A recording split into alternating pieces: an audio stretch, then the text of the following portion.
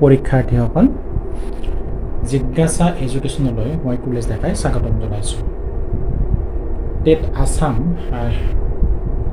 মেথেমেটিক্সৰ আমি ইতিমধ্যে ভিডিঅ' এটা দিছোঁ। আজি দ্বিতীয় ভিডিঅ'টো আপলোড কৰিবলৈ লৈছোঁ। নাম্বাৰ ছিষ্টেম অৰ্থাৎ সংখ্যা প্ৰণালীৰ ওপৰত আমাৰ এই ভিডিঅ'টো আজি। সংখ্যা প্ৰণালীত আমি বি খণ্ডটো আমি আপলোড কৰিবলৈ লৈছোঁ। আশা ৰাখিছোঁ সকলোৱে ভালে ভালে আছে। আমাৰ লগত আপোনালোকে জড়িত থাকক। আমি অন্ততঃ কিছু পৰিমাণে হ'লেও গুৰুত্বপূৰ্ণ কথাখিনি আলোচনা কৰিবলৈ সমৰ্থ হ'ম। আজি দ্বিতীয় খণ্ডৰ প্ৰথম প্ৰশ্নটো হৈছে যে যদি এক্স এটা অযুগ্ম সংখ্যা হয় তেন্তে ইয়াৰ পিছৰ অযুগ্ম সংখ্যাটো হ'ব। আমাক চাৰিটা অপশ্যন দিয়া আছে। Two X A B two X plus two C X plus one আৰু ডি হ'লগৈ এক্স প্লাছ টু গতিকে এতিয়া আমাৰ যদি আমি ধৰোঁ যে প্ৰথম অযুগ্ম সংখ্যাটো এক্স হয় এম হয় এম হয় যি নহওক আমাক দিয়া থাকিব পাৰে এ থাকিব দিব পাৰে বি থাকি বি দিব পাৰে। কিন্তু কি হ'ব পৰৱৰ্তী অযুগ্ম সংখ্যাটো কি হ'ব? এতিয়া আমি চাওঁচোন বাৰু ওৱান ওৱানৰ পিছৰ অযুগ্ম সংখ্যাটো হ'ল তিনি ওৱানৰ লগত টু যোগ কৰিলে আমি তিনি পাওঁ। তেনেকৈ তিনিৰ লগত দুই যোগ কৰিলে পাঁচ পাওঁ পাঁচৰ লগত দুই যোগ কৰিলে সাত পাওঁ সাতৰ লগত দুই যোগ কৰিলে ন পাওঁ। যদি আমি চাওঁ যে অযুগ্ম সংখ্যাবিলাক কি হয় যে এটাতকৈ পিছৰটো তাৰমানে দুই ডাঙৰ। প্ৰথমটোতকৈ দ্বিতীয়টো দুই ডাঙৰ দ্বিতীয়টোতকৈ তৃতীয়টো দুই ডাঙৰ এনেকৈ টু টু টু টুকৈ বাঢ়ি বাঢ়ি গৈ থাকে। গতিকে কি হ'বগৈ এইফালৰ পৰা আমি কি ক'ব লাগিব যে এক্স প্লাছ টু এক্স যদি হয় কি হ'ব এক্স প্লাছ টু পৰৱৰ্তী অযুগ্ম সংখ্যাটো হ'ব এক্স প্লাছ টু তোমাৰ শুদ্ধ উত্তৰ হ'ব অপশ্যন ডি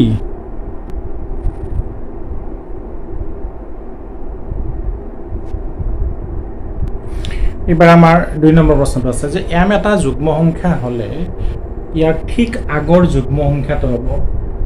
এই অপশ্যনত দিয়া আছে টু এম মাইনাছ টু বিত দি আছে এম মাইনাছ টু চিত দি আছে এম প্লাছ টু চৰি ইয়াতে আমাৰ ইয়াতে এটা টু এম আছিলে এইটো চৰি এইটো টু এম আছিলে এইটো আমাৰ টু এম আছিলে আৰু আনটো হ'বগৈ এম প্লাছ টু ইয়াতে যদি আমি চাওঁ এতিয়া যে এটা যদি আমি যুগ্ম সংখ্যাৰ কথা ভাবোঁ যে টেন টেনৰ আগৰ যুগ্ম সংখ্যাটো কিমান হ'বগৈ আঠ। টেনৰ পৰা টু বিয়োগ কৰিলে আমি আঠটো পাম। তেনেকুৱা আঠ আঠৰ পৰা দুই বিয়োগ কৰিলে ছয় পাম। অৰ্থাৎ সংখ্যাটোৰ পৰা কি হৈ যায় আগৰ যুগ্ম সংখ্যাটো পাবলৈ আমি দুই কমাই দিব লাগিব। আৰু যদি আমি চাওঁ কি হ'ব যে কোনোটা যুগ্ম সংখ্যা আগৰ যুগ্ম সংখ্যাটো কি হ'ব? দুই দুইকৈ কমি আহিব। গতিকে ইয়াত আমাৰ এতিয়া কি হ'বগৈ? যদি M M minus two two যিটো যুগ্ম সংখ্যাটো আমাক এম দি আছে গতিকে কি হ'বগৈ? এম মাইনাছ টু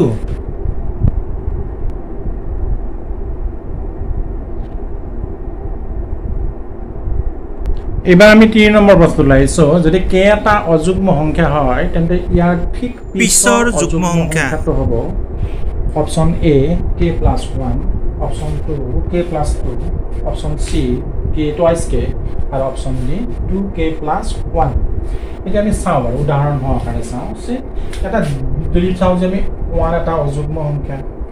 ওৱানৰ পিছৰ যুগ্ম সংখ্যাটো হ'ল টু গতিকে ওৱানৰ লগত আমি ওৱান যোগ কৰোঁ টু পাম। ঠিক এনেকৈ ফাইভ এটা অযুগ্ম সংখ্যা। তাৰ লগত যদি আমি ওৱান যোগ কৰোঁ কি পাম? ছিক্স পাম। এলেভেন এটা অযুগ্ম সংখ্যা। এলেভেনৰ পিছত ওৱান যোগ কৰিলে কি পাম? টুৱেল্ভ পাম। অৰ্থাৎ প্ৰত্যেকটা আমি যদি স্বাভাৱিক সংখ্যাবিলাক সজাই যাওঁ কি হয় যে এটা যুগ্ম সংখ্যাৰ পিছৰটো অযুগ্ম সংখ্যা অযুগ্ম সংখ্যাৰ পিছৰটো আকৌ যুগ্ম সংখ্যা। গতিকে কোনো এটা যুগ্ম সংখ্যাৰ পিছৰ অযুগ্ম সংখ্যাটো সেই যুগ্ম সংখ্যাটোতকৈ এক ডাঙৰ। ঠিক তেনেকৈ অযুগ্ম সংখ্যাটোতকৈ তাৰে পিছৰ যুগ্ম সংখ্যাটো এক ডাঙৰ হ'বগৈ গতিকে ইয়াতে আমি চালোঁ উদাহৰণটো চালোঁ যে এক এটা অযুগ্ম পিছৰ যুগ্ম সংখ্যাটো কি? টু গতিকে ওৱানৰ লগত ওৱান যোগ কৰি পাইছোঁ। পাঁচ এটা অযুগ্ম সংখ্যা পিছৰ যুগ্ম সংখ্যাটো ছিক্স কি কৰি পাম? পাঁচৰ লগত এক যোগ কৰি পাম। এঘাৰটা যুগ্ম সংখ্যা তাৰে পিছৰ অযুগ্ম সংখ্যাটো এক যোগ কৰিলে আমি বাৰ পাম। গতিকে যুগ্ম সংখ্যাটো পাই গ'লোঁ। গতিকে সেইফালৰ পৰা আমি কি ক'ম যে কে যদি এটা অযুগ্ম সংখ্যা হয় পিছৰ যুগ্ম সংখ্যাটো হ'বগৈ কে প্লাছ ওৱান গতিকে আমাৰ এই অপশ্যনটো শুদ্ধ হ'ব।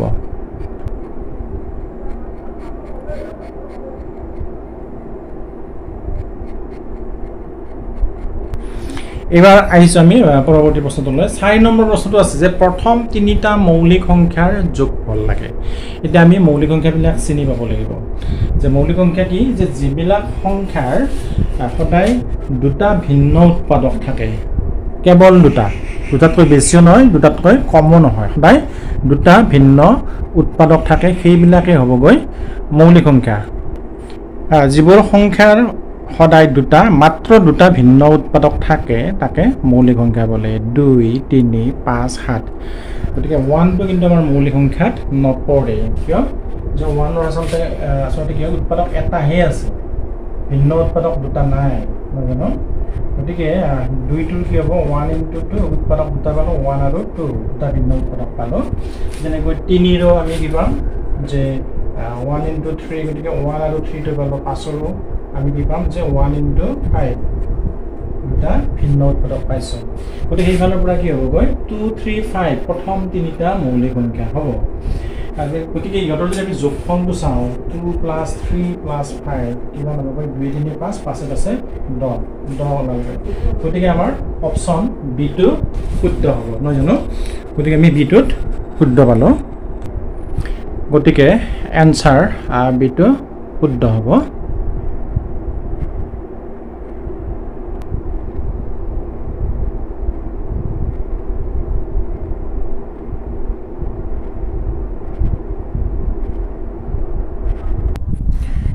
পাঁচ নম্বৰত আছে যে ওৱানৰ পৰা এশৰ ভিতৰত থকা মৌলিক সংখ্যা মৌলিক সংখ্যাৰ সংখ্যা তাৰমানে কিমানটা আছে? মৌলিক সংখ্যাৰ সংখ্যা হ'বলৈ পঞ্চাছটা ত্ৰিছ তিনিটা দীঘল বি ত্ৰিছটা পঁচিছটা আৰু এঘাৰটা। এতিয়া আমি চাওঁচোন বাৰু এশৰ ভিতৰত এশৰ পৰা এশৰ ভিতৰত কিমানটা মৌলিক সংখ্যা আছে? দুইটো তিনিটো পাঁচটো সাতটো এঘাৰটো তেৰ সোতৰ ঊনৈছ তেইছ ঊনত্ৰিছ একত্ৰিছ সাতত্ৰিছ একচল্লিছ তিয়াল্লিছ সাতচল্লিছ তাৰপিছত হ'ব তোমাৰ তেৱন্ন ঊনষাঠি এষষ্ঠি সাতষষ্ঠি এসত্তৰ তেসত্তৰ ঊনাশী।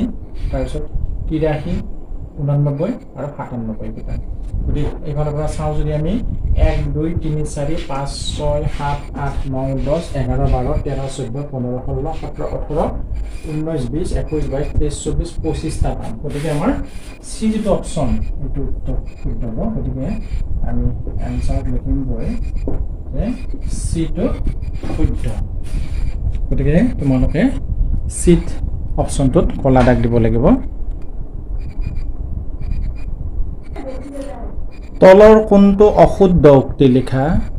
এ দিয়া আছে আটাইতকৈ সৰু স্বাভাৱিক সংখ্যা হৈছে ওৱান আটাইতকৈ সৰু পূৰ্ণ সংখ্যা হৈছে ওৱান আটাইতকৈ সৰু মৌলিক সংখ্যা হৈছে ওৱান ওৱান এটা পৰিমীয় সংখ্যা হয়। এতিয়া আমি এই উক্তি চাৰিটাৰ প্ৰত্যেকৰে আমি চাওঁ শুদ্ধতা কেনেকুৱা শুদ্ধ শুদ্ধ। যে আটাইতকৈ সৰু স্বাভাৱিক সংখ্যাবিলাক হৈছে সংখ্যা হৈছে ওৱান এইটো সঁচা কথা যে স্বাভাৱিক সংখ্যা বা গণনা সংখ্যা আৰম্ভ হৈছে? আমি গুণিবলৈ ব্যৱহাৰ কৰোঁ। ওৱান টু থ্ৰী ওৱানৰ পৰা ষ্টাৰ্ট হৈ একেবাৰে অসীমত শেষ হৈছে। গতিকে এক নম্বৰ উক্তিটো শুদ্ধ হ'ব। তাৰপিছত দুই নম্বৰ উক্তি আটাইতকৈ সৰু পূৰ্ণ সংখ্যাটো হৈছে ওৱান এইটো ক্ষেত্ৰত আমি আহ, অশুদ্ধ উক্তি পাম যে পূৰ্ণ সংখ্যা আৰম্ভ হৈছে শূন্যৰ পৰা। আটাইতকৈ সৰু পূৰ্ণ সংখ্যা হ'বগৈ জিৰ' বাকী দুটা উক্তি চাওঁ বাৰু। আমাৰ এইটো অশুদ্ধ উক্তি হ'ব। গতিকে আটাইতকৈ সৰু মৌলিক সংখ্যা হৈছে ওৱান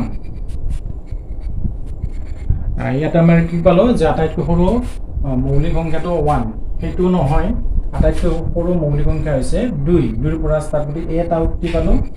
আৰু ডি আছে ওৱান এটা পৰিমীয়া সংখ্যা হয়। এতিয়া ওৱান পৰিমীয় সংখ্যা হয়নে? নিশ্চয় হয়। নহয় আমি ওৱানক আমি পি বাই কিউ আকাৰত প্ৰকাশ কৰিব পাৰোঁ। য'ত Q is not equal one মানে ওৱান বাই ওৱান বা টু বাই টু যিবিলাক সংখ্যাক আমি পি বাই কিউ আকাৰত প্ৰকাশ কৰিব পাৰোঁ য'ত Q is not equal to zero' আৰু পি কিউ এটা অখণ্ড সংখ্যা বা গোটা গতিকে এইফালৰ পৰা কি হ'ল? এইটো শুদ্ধ উক্তি। গতিকে আমি অশুদ্ধ উক্তি দুটা পালোঁ। এতিয়া তোমালোকে কি হ'ল? যে এইটো এতিয়া কি কৰিবা? দুটা অপশ্যন শুদ্ধ হ'ল। গতিকে আমাৰ পৰীক্ষাত আমি চিন্তা কৰিব নালাগে। গতিকে পৰীক্ষাত আমি যদি এনেকুৱা ধৰণৰ প্ৰশ্ন আহে তেতিয়াহ'লে কি কৰিব লাগিব? আমি যিটো এনচাৰ চিট আছে ন? এনচাৰ চিটটোত আমাৰ যে বি অপশ্যন আৰু চি অপশ্যন দুয়োটা শুদ্ধ। গতিকে পৰীক্ষাৰ্থীসকলে তাৰে যিকোনো এটা দিলে শুদ্ধ অপশ্যন ওলাব। হয় তেওঁলোকে তেওঁলোকে তেনেকৈ মূল্যায়ন কৰিব। বিটো নম্বৰ দিব চিটো নম্বৰ দিব নতুবা প্ৰশ্নটোত বাতিল কৰি পেলাই সকলোকে নম্বৰ দিব। এনেকুৱা হ'ব পাৰে। আমাৰ আগৰ খণ্ডত এটা ওলাইছিল এটা প্ৰতিযোগিতামূলক পৰীক্ষাৰ পৰা প্ৰশ্নটো দিছিলোঁ। সেইকাৰণে তোমালোকৰ দৃষ্টি আকৰ্ষণ কৰাৰ কাৰণে পুনৰ মই এনেকুৱা ধৰণৰ প্ৰশ্ন এটা সন্নিৱিষ্ট কৰিছোঁ। গতিকে সেইটোক লৈ ভয় খাব নালাগে। কেতিয়াবা হ'ব পাৰে তেনেকুৱা ধৰণৰ। যি নহওক এতিয়া আমাৰ দুটা অপশ্যন শুদ্ধ বি আৰু চি শুদ্ধ। মাইনাছ থ্ৰী বাই ফাইভৰ সমতুল্য সংখ্যা বা সমমান ভগ্নাংশটো হৈছে মাইনাছ ছিক্স বাই টুৱেণ্টি এই option B minus three by ten C ten by six আৰু D minus six by ten ইয়াত আমি যদি মাইনাছ থ্ৰী বাই ফাইভৰ সমতুল্য সংখ্যা বা সমতুল্য পৰিমেয় সংখ্যা বা সমান ভগ্নাংশ বিচাৰি চাওঁ ইয়াতে কি হ'ব গৈছে এইটো? মাইনাছ ছিক্স আছে। আছিলে মাইনাছ থ্ৰী বাই ফাইভ তাক আমি যদি টু দি পূৰণ কৰোঁ অট'মেটিক এইটোকো টু দি পূৰণ কৰিব লাগিল কেৱল মাইনাছ ছিক্স বাই টেন গতিকে এইটো নহয়। ইয়াতে সমতুল্য হ'ব লাগে মাইনাছ ছিক্স যদি লবটো হ'ব লাগে হৰটো টেন হ'ব লাগিব। ঠিক তেনেকৈ মাইনাছ থ্ৰী বাই টেনো হ'ব নোৱাৰে। ইয়াতে কি হৈছে এইটো হৰটো একে লবটো একে আছে কিন্তু হৰটো দুগুণ হৈছে গতিকে এইটো নহয়। তাৰপিছত আমি এইটো চাওঁ যদি ইয়াতে কি হৈছে মাইনাছ থ্ৰী বাই ফাইভ আছিলে তাক মাইনাছ টুৰে পূৰণ কৰিলে কি হ'বগৈ? মাইনাছ টুৰে পূৰণ কৰোঁ কি হ'বগৈ? ছিক্স বাই মাইনাছ টেন হ'ব বা মাইনাছ ছিক্স বাই টেন লিখিব পাৰিব এতিয়া সমতুল্য ভগ্নাংশ পাবলৈ হ'লে আমি হয় কি কৰিব লাগিব? হৰ আৰু লবক একে সংখ্যাৰে পূৰণ কৰিব লাগিব আৰু এইটো যদি বিভাজ্য হয় দুয়োটাকে একেটা সংখ্যাৰে আমি হৰণ কৰিব লাগিব। তেতিয়া আমি পাই যাম। গতিকে মাইনাছ থ্ৰী বাই ফাইভৰ সমতুল্য ভগ্নাংশ বা পৰিমেয় সংখ্যা হ'বগৈ ছিক্স বাই মাইনাছ টেন এটা হ'ব। কিন্তু ছিক্স বা অকল ছিক্স বাই টেন হ'ব নোৱাৰে। আৰু ঠিক তেনেকৈ আমাৰ ডি অপশ্যনটোত চাওঁ যে কি আছে মাইনাছ ছিক্স চৰি মাইনাছ মূল ভগ্নাংশটো আছিলে মাইনাছ থ্ৰী বাই ফাইভ এতিয়া মাইনাছ থ্ৰী বাই ফাইভক আমি টুৰে পূৰণ কৰোঁ আৰু ফাইভকো আমি টুৰে পূৰণ কৰোঁ মাইনাছ ছিক্স বাই টেন গতিকে ইয়াতে কি পালোঁ আমি? এইটো মাইনাছ ছিক্স বাই টেন পালোঁ। গতিকে এইফালৰ পৰা আমি কি পাম? যে এইটো ইয়াৰ সমমান ভগ্নাংশ হ'ব। হৰটো দুগুণ আছে গতিকে minus three into two minus six five into two plus ten গতিকে আমাৰ এই অপশ্যনটো শুদ্ধ গতিকে আমাৰ আমি ডিটোত শুদ্ধ উত্তৰ বুলি লিখিম। One plus two plus three plus up to twenty five এই সংখ্যাকেইটাৰ যোগফল হ'ব। ইয়াতে আমি প্ৰথম পঁচিছটা স্বাভাৱিক সংখ্যাৰ যোগফল পাইছোঁ। ইয়াতে আমাক অপশ্যনকেইটা দিয়া আছে A is equal to three twenty B is equal to three twenty five C is equal to three fifty আৰু D is equal to three fifty five. এতিয়া আমি এটা স্বাভাৱিক সংখ্যা একৰ পৰা দুই তিনি এনেকৈ যদি লয় এন বুলি ধৰি লওঁ যদি এটা সংখ্যা হয় যদি আমি যোগফল উলিয়াওঁ এই যোগফলটো উলিওৱাৰ কাৰণে তোমালোকে এইটো N into N plus one divided by two এই সূত্ৰটো ব্যৱহাৰ কৰিব পৰা। কি হ'ব? N into N plus one by two এতিয়া আমাৰ ইয়াতে এন ইজুকেলটো কিমান হ'ব? পঁচিছ হ'ব টুৱেণ্টি ফাইভ হ'ব নহয় জানো। গতিকে এতিয়া কি হ'বগৈ? যোগফলটো কিমান হ'বগৈ? যোগফল হ'বগৈ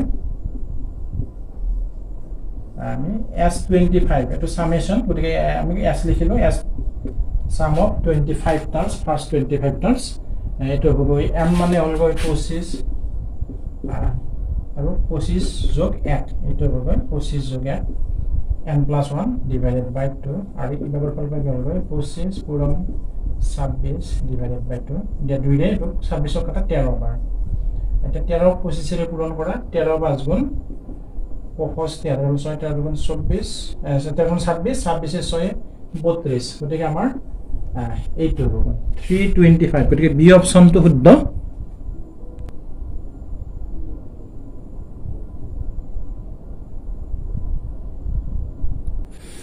এবাৰ আমি পৰৱৰ্তী প্ৰশ্নটো আহিছোঁ আমাক উলিয়াব দিয়া আছে two plus four plus six plus up to twenty এই যোগফলটো উলিয়াব লাগে। ইয়াৰ কাৰণে আমাক অপশ্যন দিয়া আছে A one hundred B one twenty C one thirty আৰু ডি হাণ্ড্ৰেড টেন এতিয়া আমি আছোঁ তাতে কি আছে যে প্ৰথম দহটা যুগ্ম সংখ্যাৰ যোগফল উলিয়াব দিছে আচলতে ইয়াতে। টু ফ'ৰ ছিক্স তাৰপিছত এইট আহিব টেন আহিব এনেকুৱা আপ টু টুৱেণ্টিলৈ গতিকে two four six up to twenty এতিয়া যদি আমি প্ৰত্যেকৰ পৰা টু কমন লওঁ টু মানে এতিয়া কি আছে নো? টু ইণ্টু ওৱান এইটো two into two two into three এনেকৈ যদি চোৱা দুই এটা প্ৰত্যেকৰ তাতে আছে এইটো টু ইণ্টু টেন হ'বগৈ গতিকে দুইটো যদি আমি কমন লওঁ তেতিয়া থাকিব ওৱান থাকিব ইয়াতে টু থাকিব ইয়াতে থ্ৰী থাকিব এনেকৈ গৈ গৈ গৈ শেষত কিমান থাকিব? দহ থাকিব। এতিয়া one plus two plus three এইখিনিৰ আমি যোগফলটো জানো। আমি নিশ্চয় মনত পেলাম নহয় one n into n plus one divided by two আছিলে। গতিকে স্বাভাৱিকতে এন ইজুকেলটো কিমান হ'বগৈ টেন গতিকে এইখিনিৰ মান হ'বগৈ ten into ten plus one divided by two এতিয়া আমি এইটো কটাকটি যদি কৰোঁ এইটোও কৰিব এইটো কাটি কাটি দিব পৰা।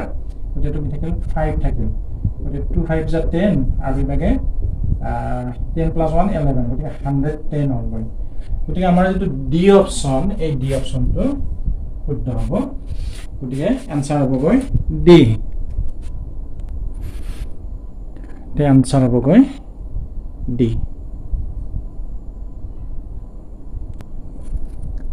এইবাৰ চোৱাচোন one plus three plus five plus seven plus এনেকৈ twenty one up to twenty one ইয়াৰ যোগফলটো কিমান হ'ব তোমাক সুধিছে।